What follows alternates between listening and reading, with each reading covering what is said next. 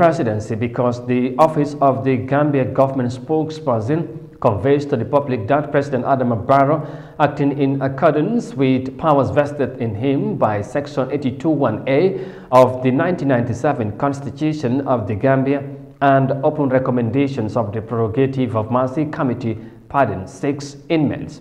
The pardoned prisoners include JBC, Ibrahim Abba, Lamin Saidi Ba, Ibrahim Jallo, Mustafa Job, and Mustafa Jallo, Conakry, Guinea. Now, the customary extension of presidential prerogative of mercy to prisoners is part of the celebration of the Muslim feast of Eid al-Fitr, locally known as Koriteh.